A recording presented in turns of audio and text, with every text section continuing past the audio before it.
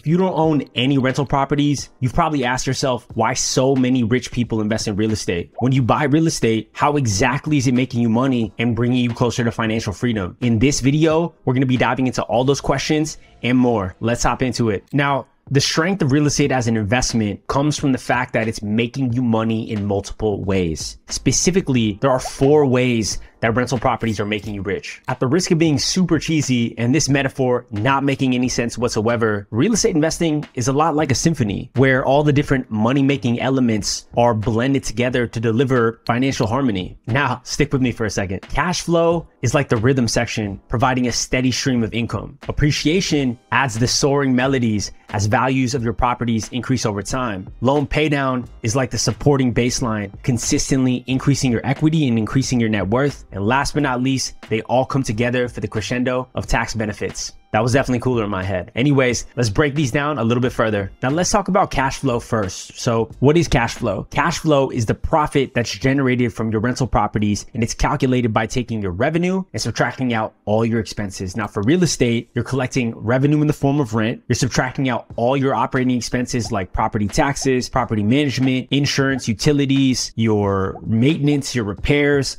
and you're also subtracting out all your mortgage payments. And what's left over when you do that calculation is your profit or your cash flow. Now, if it's a good rental property, that number is going to be positive. And what's so important about cash flow is if you have a rental property portfolio that's generating enough cash flow to cover all your living expenses, you've achieved financial freedom. And that's ultimately the goal, right? The next logical question is how much cash flow should I expect a single rental property to generate? And in my experience, this really depends, but a good rental property should generate anywhere from 200 to $500 in net cash flow every single month after all expenses. I know what you're thinking. 200 to $500 a month is not going to make you financially free.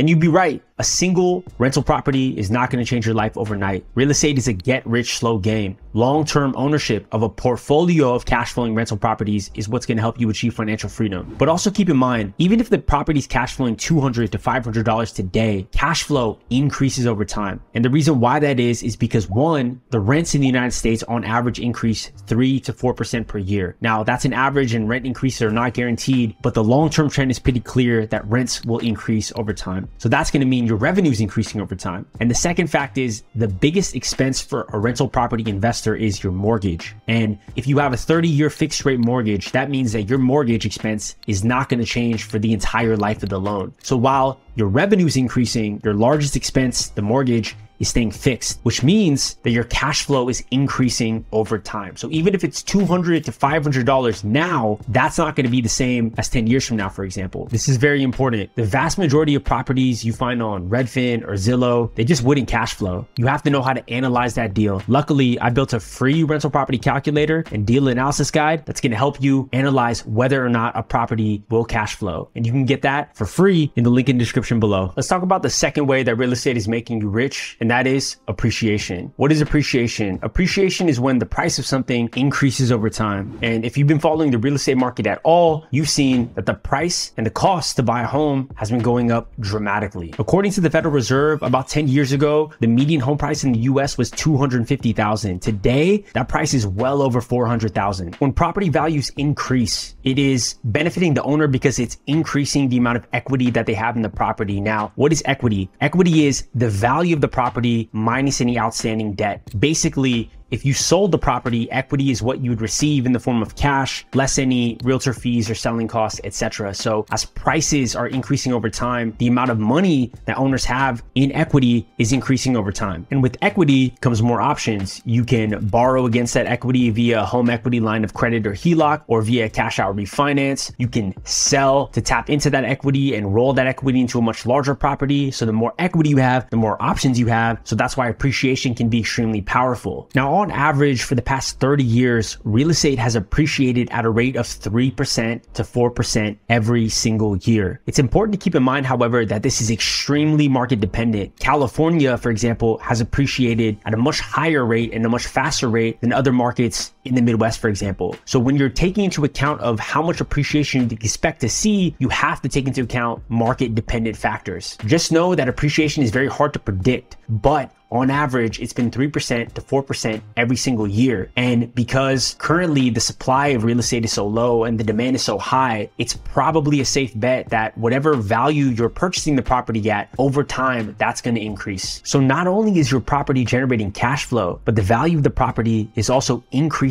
over time. This is the beautiful thing about real estate. The third way real estate is making you money is through loan paydown. Now, you're probably familiar with the concept of debt. You borrow some money, typically from a bank, use it to buy something, and you pay it back over time with interest. But not all debt is created equal. Real estate is what we refer to as good debt. Now, why do we call it that? We call it that for two reasons. One, the value of real estate, as we just discussed, is increasing over time. So even if we have to borrow money to purchase the asset, the asset is getting more valuable over time. Number two is real estate, again, as we identified, is a cash flow producing asset. So every single month we collect revenue in the form of rent from our tenants and we use a portion of that rent to pay back the bank. So you, the real estate investor, you aren't paying back that loan. Your tenants are every single month, that balance that you owe the bank is decreasing because you're paying that back with the rent from the tenants. And eventually, over time, that balance is going to be gone and it's going to be paid completely off by the tenants. If you compare real estate to borrowing money to purchase a car, for example, a car is a depreciating asset. As soon as you drive the car off the lot, it goes down in value. And the car also isn't generating any income or generating any cash flow. So this is what we refer to as a bad debt because because you're borrowing money to buy something that is one, losing value, and two, not generating any income. Loan paydown is another factor that is increasing your equity as the property owner. Now, to revisit equity quickly, it is the market value of the property minus any outstanding debt. So your equity is increasing in two ways.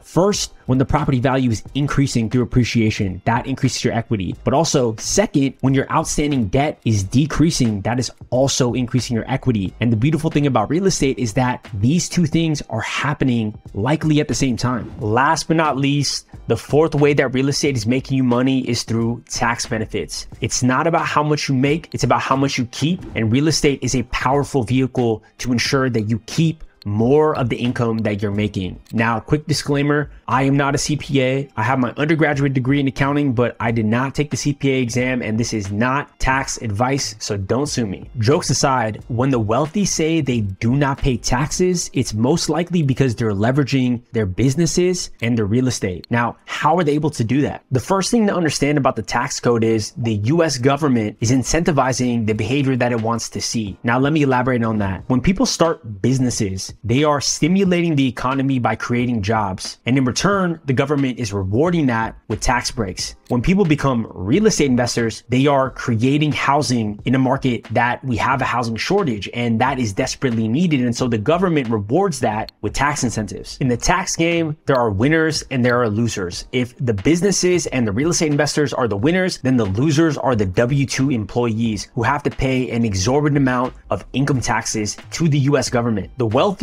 realize this, so they're very strategic about building businesses and investing in real estate to shelter more of their income from the US government. And instead of getting mad and complaining that, hey, this is not fair, you and I should do the same thing. Without getting too in the weeds, taking advantage of some of the tax benefits of real estate investing, like depreciation or writing off mortgage interest or leveraging 1031 exchanges, means that you get to keep more of the money that you make in real estate, which means more money in your pocket, more money to invest in more real estate. And on your journey to financial freedom, this can make all the difference. So even though taxes are super boring, if you're very serious about building generational wealth and achieving financial freedom, you need to level up your understanding of the tax game and make moves like the wealthy do. There you guys have it. The four ways that real estate makes you rich, cash flow, appreciation, loan paydown, and tax benefits done correctly. A simple strategy like buying one rental property every year for the next 10 years can yield tremendous results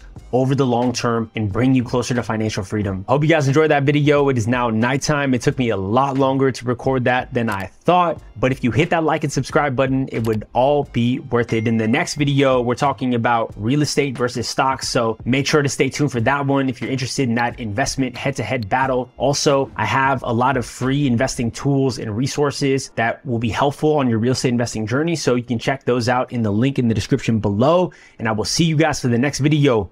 Peace.